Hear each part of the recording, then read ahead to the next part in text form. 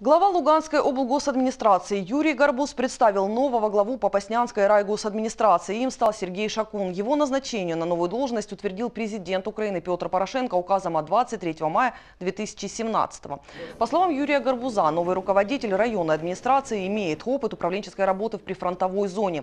До этого Сергей Викторович был руководителем военно-гражданской администрации поселка Новотошковская и села Желобок Попаснянского района.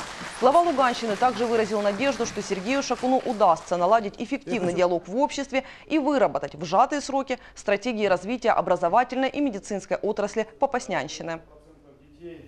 Прошу меня не бояться, головы никому рубать не буду просто так.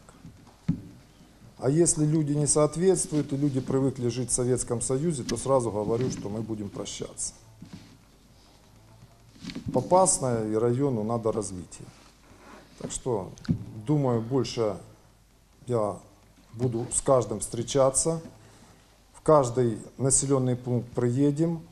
Будем встречаться не только с руководителями, но будем встречаться с громадой, чтобы Попаснянский район был лучшим,